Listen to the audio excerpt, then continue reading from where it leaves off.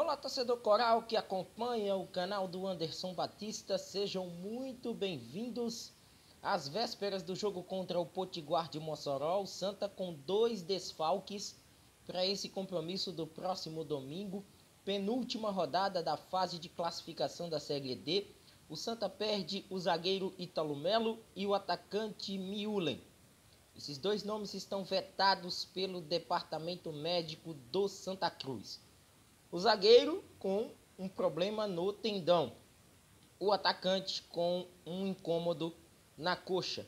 E a partir de agora, a gente traz, além desses desfalques, outras informações do Santa, né, às vésperas desse importante compromisso que pode definir a situação do Santa dentro da Série D e, consequentemente, para o restante desta temporada.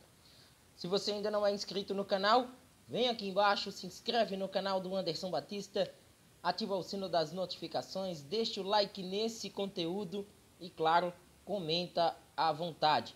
A sua participação é muito importante para que a gente vá trocando figurinhas com o conteúdo já disponibilizado para o nosso torcedor. Esse é o canal do futebol pernambucano, o canal do YouTube do Anderson Batista. A informação foi divulgada pelo repórter Igor Moura, da Rádio Jornal onde ele ressaltou a ausência desses dois atletas que estão vetados para esta partida do próximo domingo às 4 da tarde. Italo Melo foi titular em 11 jogos né, do Santa Cruz, dos 12 disputados até então. A única vez que Italo Melo ficou de fora de um compromisso do Santa Cruz na Série D do Campeonato Brasileiro foi diante do Globo, quando o Santa venceu por 3 a 0, foi na abertura desta segunda parte né, da, do grupo A3 da Série D, onde o Santa venceu em casa, venceu bem e na ocasião ele não foi o zagueiro titular. Nas outras ocasiões, Italo Melo esteve como titular da equipe, inclusive tem um gol marcado na competição. Ele apresentou já no treinamento desta última quinta-feira um quadro de tendinite e nesta sexta, no treinamento de agora à tarde, que não houve inclusive abertura para a imprensa apenas do processo de aquecimento, vimos o jogador ser desfalque por conta de, das dores que se intensificaram no tendão de Aquiles. Inclusive, ele será reavaliado pelo DM Coral a ponto, se, a ponto de saber se tem condições de atuar na próxima rodada. O Santa que vai enfrentar domingo, dia 23, o Iguatu jogando lá no Ceará. Então, com isso, a formatação de defesa que o técnico Evaristo Pisa armou para o Santa Cruz no dia de ontem, com Ian Oliveira e Eduardo Guedes, deve ser a zaga titular para esse jogo do próximo domingo. Sobre Miulen, é uma opção do banco de reservas. O jogador sentiu um desconforto no músculo posterior da coxa direita. Com isso, desfalca a equipe coral para o compromisso de domingo. Um jogador que tem quatro partidas pelo Santa, inclusive o gol marcado de Miulen também foi naquela partida da ausência de Ítalo Melo, aquele 3 a 0 diante da equipe do Globo, onde o Santa conseguiu na reta final da partida né, sacramentar um bom resultado, né, com os 3 a 0 construídos até então. Então é menos uma opção para o ataque coral tendo em vista que é um jogador que tem se acostumado a entrar durante as partidas. O ataque do Santa que, assim como já vínhamos destacando, deve ser armado com Iago Silva, Lucas Silva e a volta do atacante Pipico que cumpriu suspensão na rodada anterior e até para queixas de uma boa parte da torcida do Santa que vê a possibilidade de Emerson Galego, artilheiro da equipe na Série D com quatro gols, começar a partida no banco de reservas.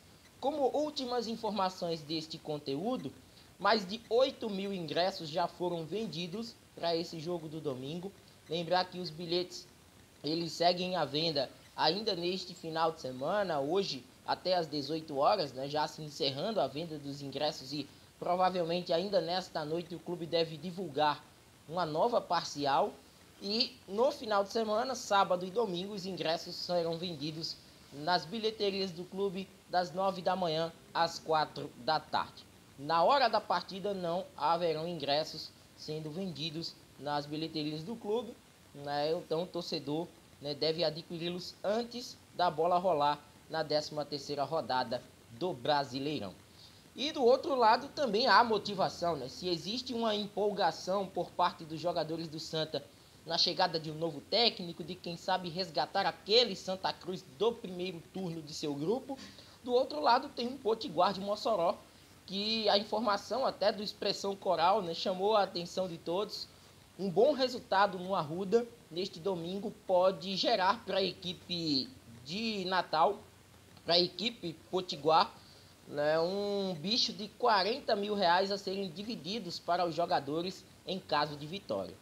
Então, se existe motivação do lado tricolor, também existe motivação do lado alvirrubro norte-rio grandense em busca desse placar que poderia dar até de forma antecipada a classificação à equipe visitante. Então, a gente viu até algumas imagens das redes sociais, né? E vou até disponibilizar aqui também nos shorts para o torcedor conferir né, a festa que o torcedor né, do Potiguar fez na última movimentação, até acontecendo no estádio Nogueirão, né, com a presença do torcedor, sinalizadores ligados.